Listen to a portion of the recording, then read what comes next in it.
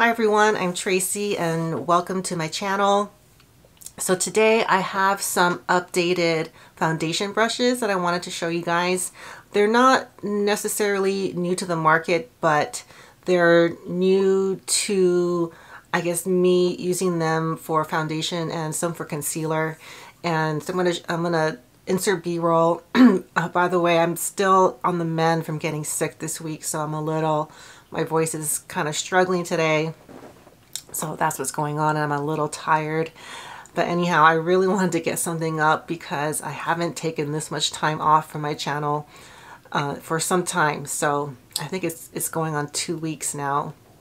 But anyhow, I have some exciting foundation brushes that I want to show you guys. And then I have some updates on my kind of newer brushes that I've been really enjoying. I'm going to show you guys how I use them. Let me start out with the foundation brushes. I put a post up yesterday and I feel like every time I put a post up of foundation brushes, there's always a lot of interest because it's not always easy to figure out what kind of brush to get for foundation because they can range you know, from anything from, you know, a weasel brush like this to a little round brush like this to a big, you know, round flat brush like this.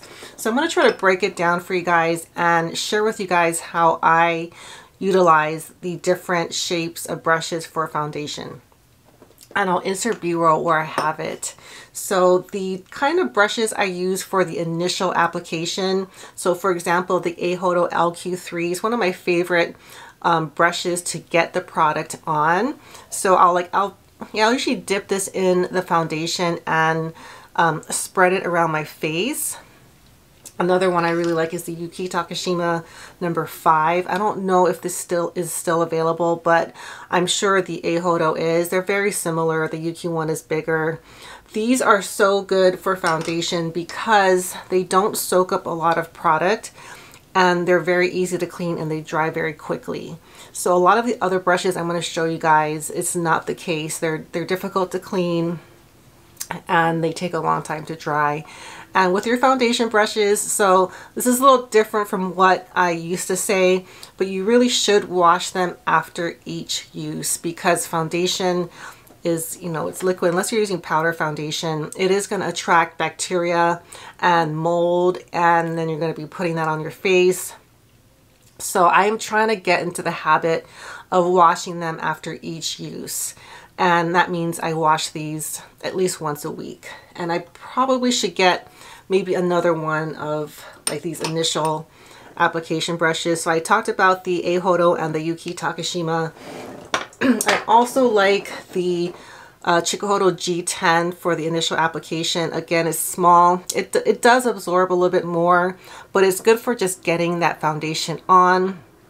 This one you could pat as well, but you're going to need something after to kind of smooth out the streaking and yeah, just like kind of buff the product in and press the product in. So these brushes are ones that I'm going to talk about are ones that I use for that purpose. All right, so these three Rephr brushes, I don't think I've ever used them on my channel because they're, they're some of their newer brushes. But one that I've been really liking and I didn't think I would like this brush is the number 35.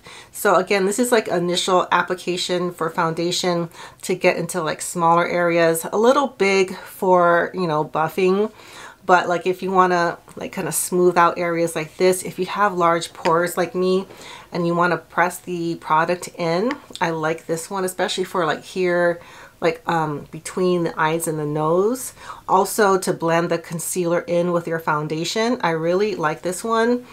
Also, if you're doing, um, if you're a makeup artist or you're doing someone else's makeup and they have like very small face, like a very narrow face, I find this brush works really well. Uh, not so much my case, but I sometimes do other people's makeup and I find like with someone with very fine features, this brush is really good for that and it's just you know perfect size for um, like around the eyes and yeah really great great for pressing in product Another brush that I really like for this purpose, and I've mentioned this before, is the Chikuhodo T3. So it's just bigger and it's flatter. This one, I don't like using it to dip into foundation because it's so dense. Also, the hairs are really fine. So I just feel like I have to be more delicate with this brush. So I use this as like a final you know, kind of like pressing um, product in. I also pressed in primer with this, especially like here. This is normally where I have to do that. And I really love this brush, really well made. The Takumi series is one of my favorite Chikuhodo series. Um, reasonably priced and really well made. And then the 37, another one that I use similarly, um, kind of similarly to the T3, but this one is not as dense. So I'll kind of buff out um, streaks, you know, press in product. This is also good for cream blush and cream bronzer. But yeah, I really like this to smooth everything out. I think this is what I use to kind of, you know, blend everything in. Really multifunctional. Another brush I use for this purpose is the Yoshiki Y1 the uh, the largest of the series. This is good for buffing because it's dense, but it's not super dense. It's not going to like take away the foundation. It really gives your your liquid or cream foundation a very smooth, seamless finish. Um, very comfortable to use. Not like this, not the finest of hairs, but that's kind of why I like it for foundation. I don't feel like I have to be as fragile with the Yoshiki series let me see. There's a lot that I use in this manner and another one the Rephr 24 um, I used this when I was doing my um, my blush brush video and I had to cover up um, the blush, you know, like 15 times because this one is softer. This one's softer than the Yoshiki. So if you have sensitive skin and you're looking for something to press and buff foundation in, I think you'll like this one. A lot of people use this for powder bronzer or, or cream bronzer. It is a bronzer brush, but I think it's best for foundation and uh, a really good buy. You know, they're having their sale. If you can get this, you know, 40, 50% off, this is a really um, great buy, I think, the, the 24. And I think this is one of their most popular brushes. So again, you know, pressing in product, smoothing everything out. Another one I use for this purpose is the Rephr 4. This one is even more fluffy. So if you don't want a denser brush for smoothing out your foundation, this is a really good one. It's also good for cream blush and cream contour. So very multifunctional. I know this is meant for powders, but I've really only use it for cream and liquid products not for initial application, application but for, you know, after, um, you know, smoothing everything out. These two I'm using mainly for concealer, and that is a Rephr 33. I don't even know if these are meant for cream products, but I love this for concealer.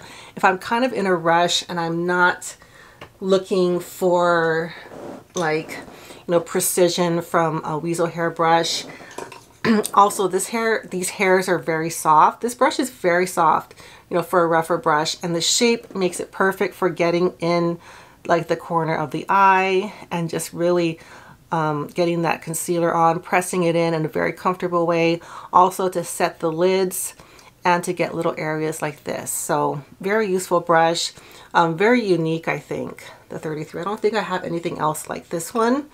Same with this one the, the 36 and um, again, I don't, I think this might actually be for concealer. One hair is coming out.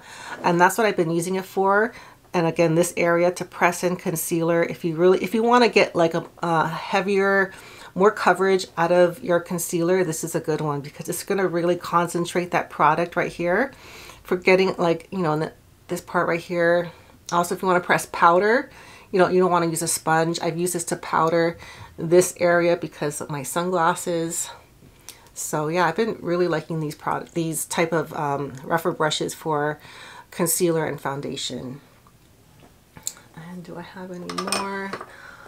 Um, I'll quickly mention this one. I've been using the T11. I've been carrying this one around with me because on the go, so sometimes I, I do have to do my makeup like in the car especially recently I've been a little bit busier. So I when I do my makeup on the go I usually bring a stick concealer. It's just easier if I need to. I can just put directly on from the stick and then blend out with a brush like this and it looks beautiful. So I like the combination of the Chikuhodo T11 with the Huda Beauty stick stick foundation.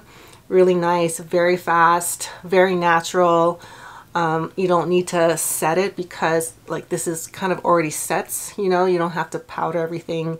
So um, on the go, I've been really liking this combination right here. You know, I'll, I'll just quickly mention the 31. I've talked about this one so much, so many times on my channel. I've, I've demoed it many times, but this is the brush that I use for foundation if I really want to like cancel everything out and it's also very quick. So you can you can do initial application and like smooth and buff everything in press everything in all at in one. So you don't have to switch brushes out. So um, yeah the 31 really good brush. If you can get this one on sale it's a deal because Hakuhodo will charge um, at least twice as much for their version and the Rephr one is is equally as good all right, so I'm to close it out right there. I did film um, my brush updates, but I, I'm to have to put that into my next video because the video would be pretty long. So I will be posting that in the next week. And um, yeah, I hope this helps you guys out a lot. And I will see you all next time. Bye.